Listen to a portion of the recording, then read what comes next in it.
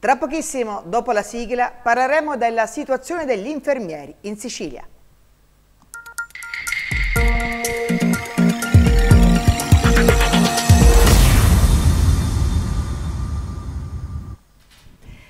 Ben ritrovati, come sapete noi cerchiamo sempre nel corso delle nostre trasmissioni, oltre a parlare ovviamente di eccellenze, di sanità, insomma anche di patologie, di, di soluzioni da offrire ai nostri telespettatori, anche delle problematiche che in qualche maniera attanagliano la sanità eh, nazionale e in particolar modo quella siciliana. Oggi sotto i nostri riflettori il ruolo degli infermieri, le problematiche tutto ciò che in qualche maniera li vede coinvolti a livello regionale. Ospiti con me Salvatore Vaccaro, vice segretario nazionale Nursin, grazie di essere qui con noi. Buonasera a tutti i telespettatori. E poi abbiamo Salvatore Calamia che invece è il segretario regionale, grazie anche a lei di essere qui con noi. E poi per ordine abbiamo Aurelio Guerriero, Nursin Palermo, Giuseppe Provinzano, Nursin Caltanissetta. Quindi abbiamo Cerchiamo così in questa trasmissione di coprire le principali ovviamente province, le problematiche. Io vorrei ehm, partire con un dato recentissimo, quindi approfitto anche della vostra presenza, del della presenza del segretario regionale. Da pochissimo si è tenuta una riunione in assessorato per fare il punto delle vostre problematiche e anche di chiedere maggiore tutela e indennità per vostro, la vostra presenza all'interno dei pronto soccorsi. Vorrei ovviamente avere eh, delucidazione su quella che è stata la riunione che avete tenuto appunto in assessorato a Palermo. Credo ci sia un problema. Abbiamo avuto forse,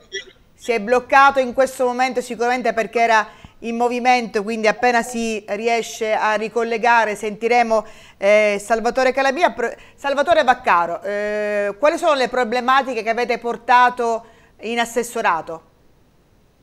Allora, eh, le riunioni che sono avute in, in, questi giorni in assessorato sono state legate a due eh, problematiche principali che abbiamo già sono stato oggetto da parte nostra di uno, della dichiarazione di agitazione e eh, devo dire che dopo qualche giorno l'assessorato si è messo subito in moto e ci ha convocato da una parte per l'indennità di pronto soccorso eh, che eh, aveva stanziato il contratto collettivo nazionale ben due anni fa e dall'altra eh, invece per l'aumento della, ehm, della tariffa del personale che lavora nel sistema di emergenza urgenza 118.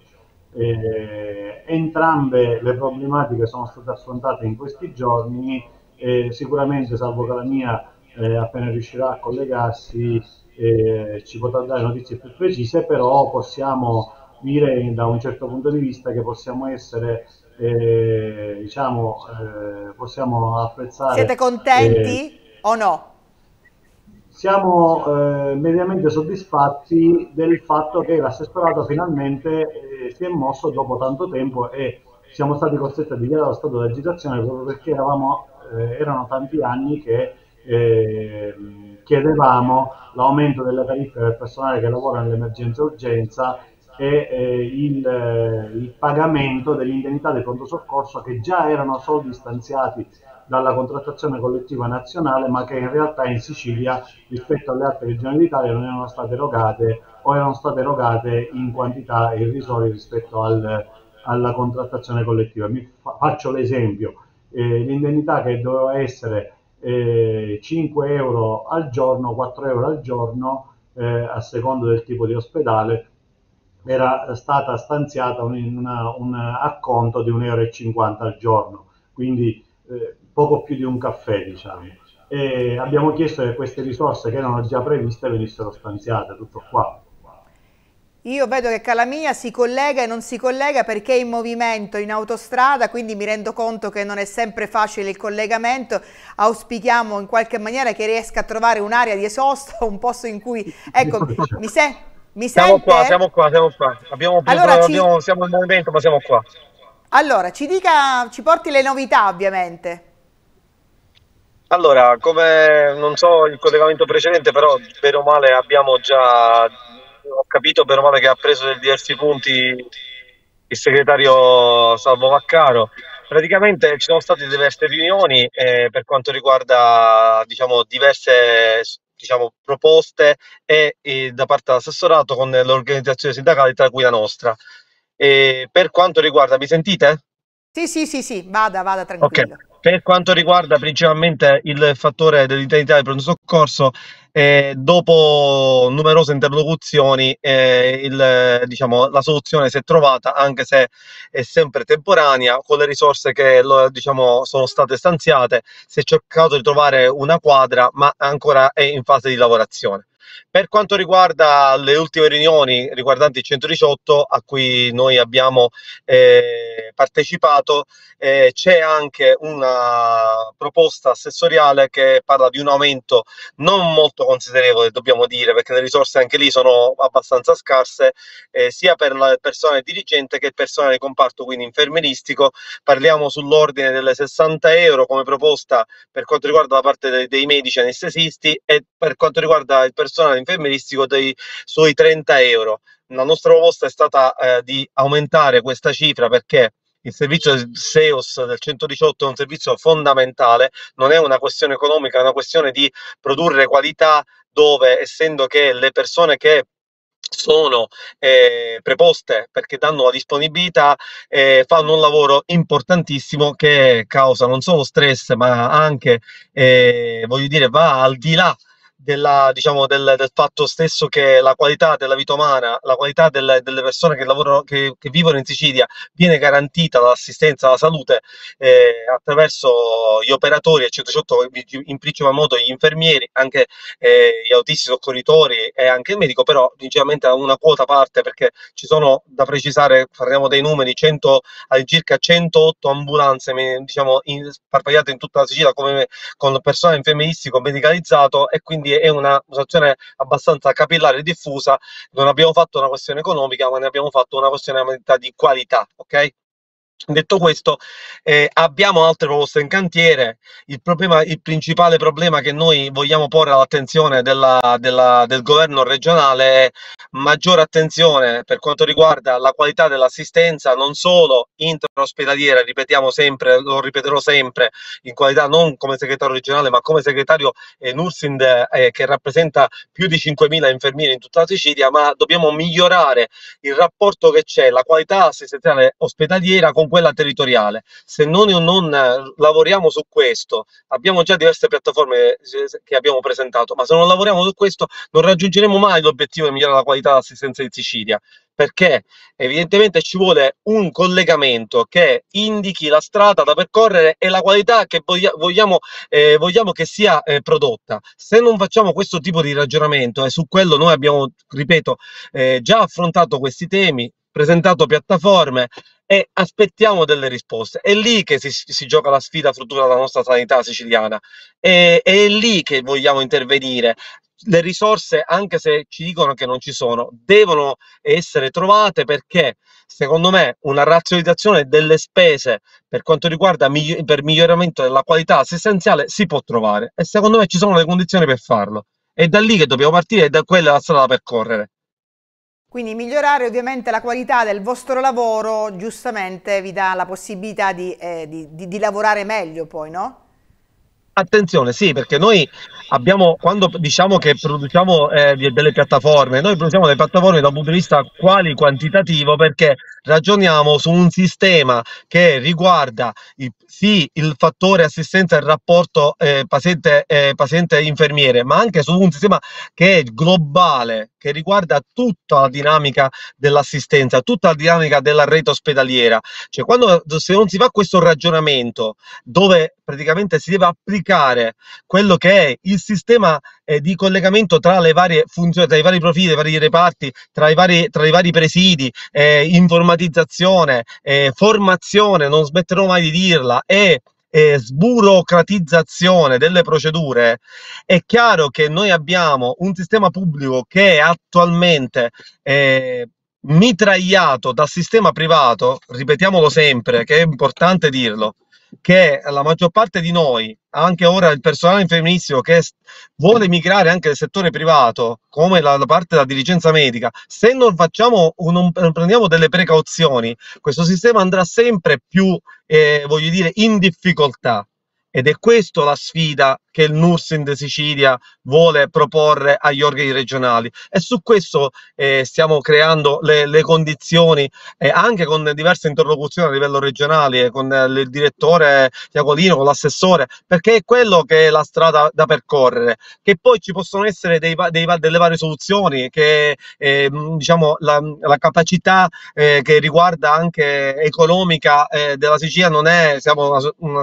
diciamo una situazione siciliana, lo sappiamo sappiamo tutti che è una fase eh, di eh, piano di rientro perché siamo stati in deficit, però si può ragionare su questo e si deve ragionare su questo perché le risorse a nostro parere e anche a parere anche degli esperti che abbiamo contattato ci sono e da lì, eh, come ripetevo poco fa, la sfida da, da vincere.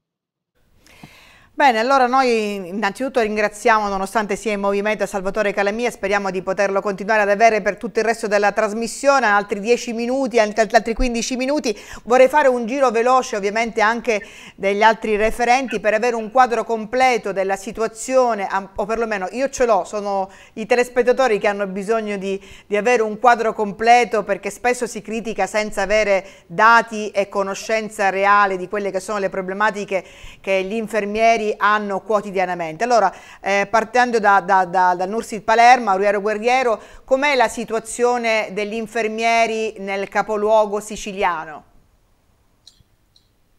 Penso che la situazione è condivisa un po' in tutte le province. Purtroppo ormai da quando le, le, le, gli ospedali appunto sono diventati aziende, più che altro si tende a quelli che sono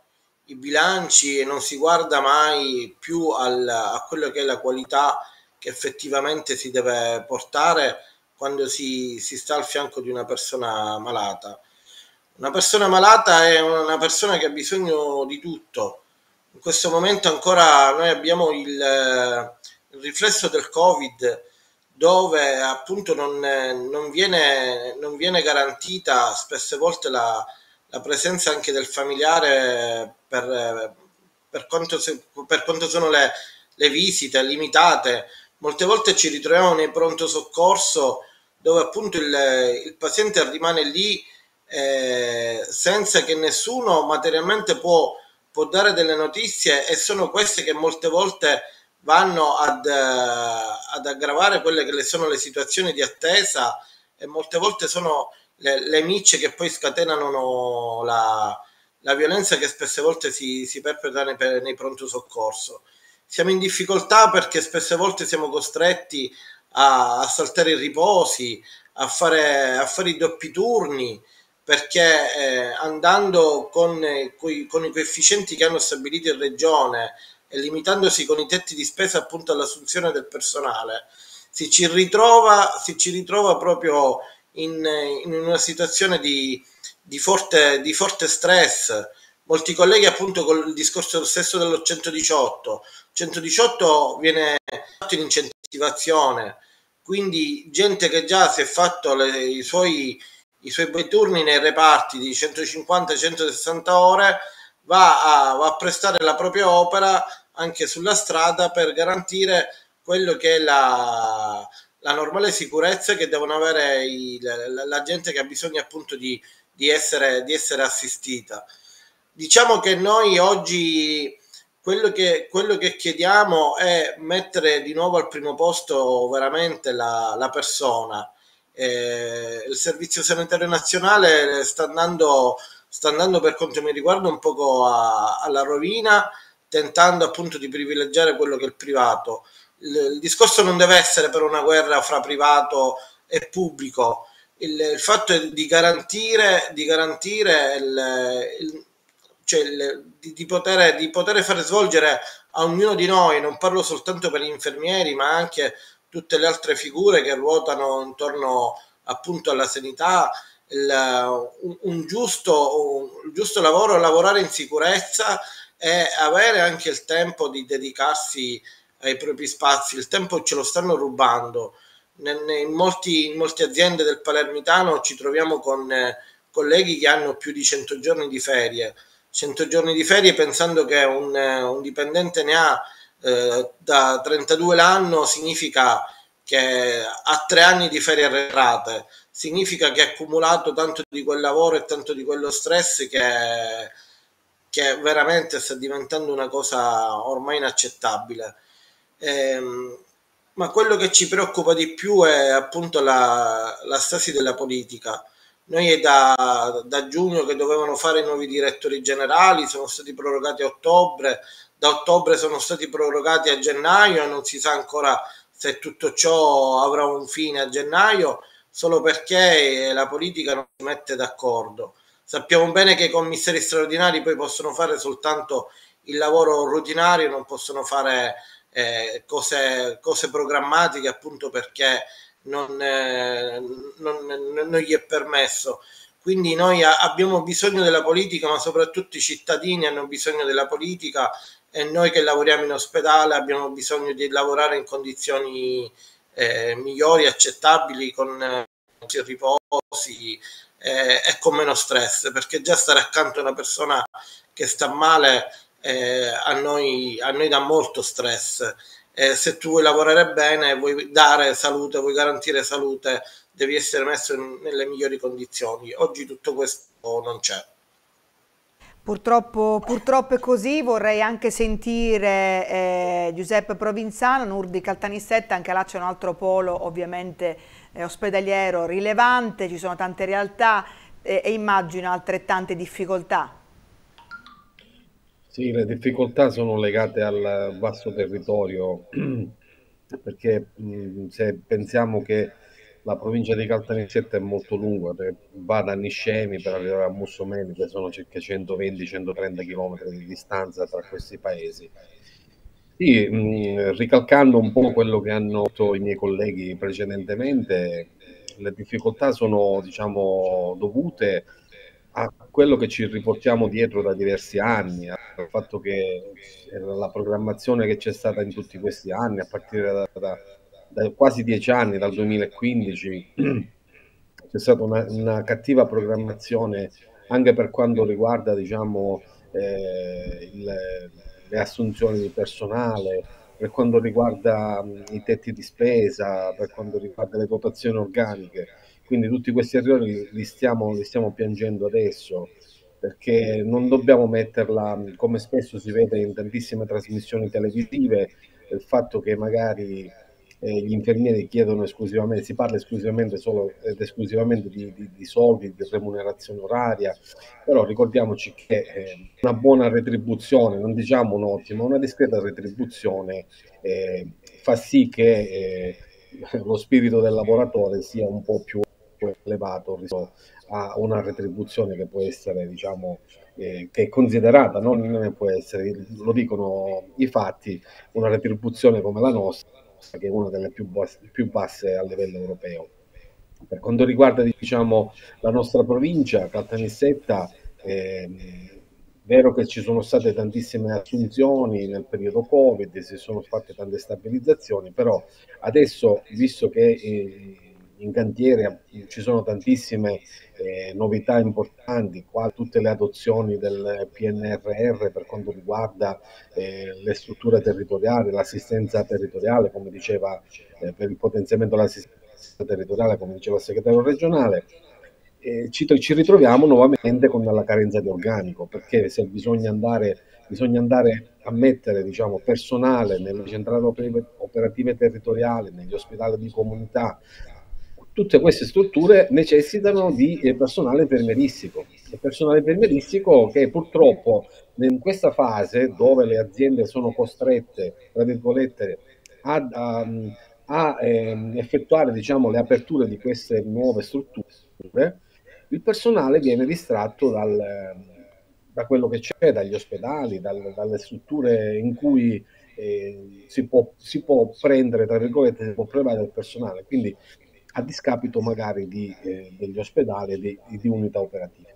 Quindi la cosa, eh, la cosa importante da fare, eh, che noi ripetiamo ormai da quasi dieci anni, e eh, mettere mano seriamente alle dotazioni organiche a livello regionale con diciamo, un programma eh, che attenzione appunto eh, questa, questa forte carenza di personale infermieristico.